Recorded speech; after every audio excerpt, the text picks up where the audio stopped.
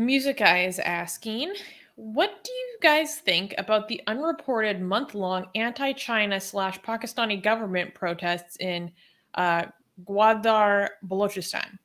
One demand is opening the border from Iran and allowing trade with the country. Are you? Do you know much about? I mean, no, no, no. Insurgency in Balochistan is one of the longest running yes. insurgencies in the world, if not the longest. Um, I don't know much about the conflict more in, in more contemporary times, besides the fact that there is a lot of militancy that directly targets Chinese nationals because they don't like the Belt and Road Initiative in their area um, for a number of reasons.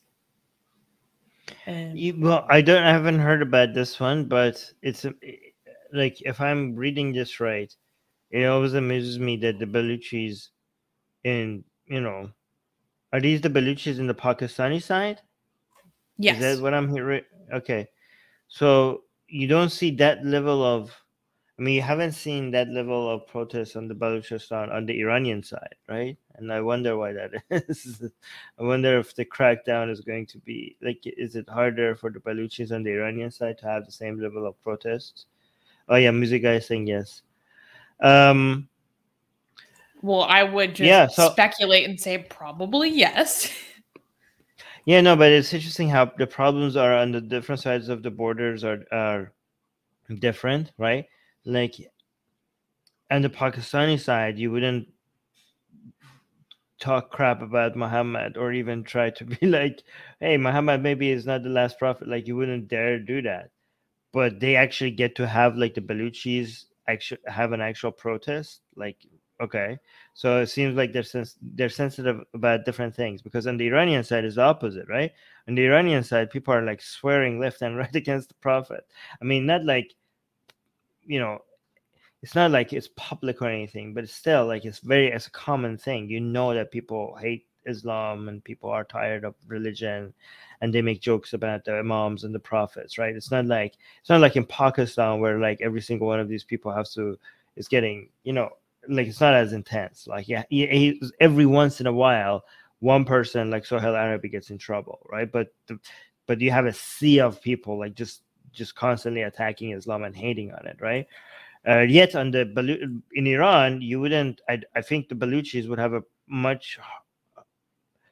I mean, maybe that's going to change pretty soon because protests are picking up in Iran, but you would have a harder time having a protest for the Baluchis, especially yeah, especially protests that are supposed that are will scare the government um about separation. Like separation is a very sensitive like protests that are happening at the borders of iran. And if you know by the by ethnic minorities like the Azer, like the Turks or the Arabs or the Baluchis um, or the Bakhtiaris, those are extremely sensitive things. Like the government will be like, yeah, we're not having any of that." Um, so you know that would be something that on the Iranian side it would be there less, but apparently you could do that in Pakistan. So it's very interesting how different authoritarian regimes are sensitive about different things. Uh, even though they're both Islamic, music guy is saying they've been making basic demands like having clean water and so on. A whole list of them. Yeah, I mean that's the Iranian side. I mean, are you talking about the Baluchis in Pakistan or the Iranians? I don't know. I haven't seen this protest. In Pakistan, guy, thank you that's for... the context of in... his question. Mm-hmm, mm-hmm. So maybe okay. So here's the thing. You can't. A lot of. Actually, I shouldn't say that because that could get. That could make no. So I'm gonna say it. I'm gonna say it. I'm gonna say it in a different way, right? A lot of times, that's the only things you could get to complain about, right? Because if you complain about other things, then you become a then they're watching you. They're waiting for you to start complaining about some other things so that they have an excuse to to attack you. I mean, that's for the Iranian side. I don't know how the Pakistani side works. Um, is is the Pakistani government? I, I am not very familiar with the Baluchis and the Pakistani side. Uh, Susie, do you know if the Pakistani side is like, is is this a, a separation of the Baluchis is a big threat on the Pakistan side? Is that a that um, something that they consider? Well, obviously, there's a diversity of desires in the Baluchi community, but there is a in some groups a very strong desire for separatism.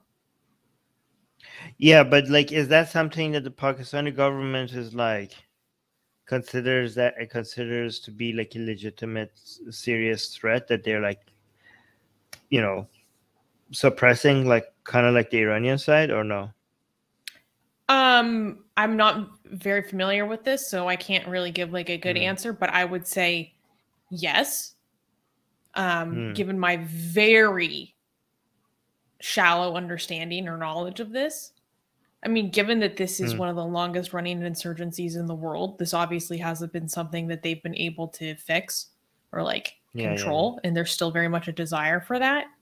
Um, and I know that within like the founding fathers of Pakistan, there was a lot of talk against provincialism, which is basically mm-hmm. like because Pakistan is built up of many different ethnic communities that don't actually have a lot in common, besides that they had an unhappy birth through yeah. Britain drawing their borders. So provincialism is kind of like disintegrating into ethnic groups. And so there's also that kind of spirit of it as well. The, the, Sistan Baluchistan province in Iran is like most, I think it's mostly Sunni, right? Um, and that's what gives a whole bunch of more stronger separation element to it in the Iranian government's mind. Um, mm. Let me see. Yeah. Yeah, so D is saying China has stripped Baluch's oh, Baluch, yeah. Baluch of their natural resources with Pakistan's blessing. Yes, thank you. That's more details into what I was trying to say about um, China's involvement. Um, and also, D is also clarifying Baluchistan was promised autonomy and then forced oh. into Pakistan. Oh, no, Sunni. And Rudrush is saying most people in Baluchistan are ethnic Pashtuns, which is interesting. Wait, I thought they were Baluch. Yeah, I think that they're. I thought they were their own. I thought they were Baluchi people. Okay. Hey guys, if you're a fan of Blasphemy and Sexy Callie, you know, like me, then you need to be sure to subscribe to our newsletter, link in the description below. Because if you subscribe, we will send you a free copy of our Blasphemous Art ebook. And let me tell you, it is the tastiest blasphemy that you can find anywhere available today.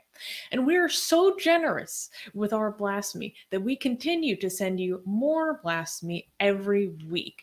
So make sure to subscribe. Link in the description below.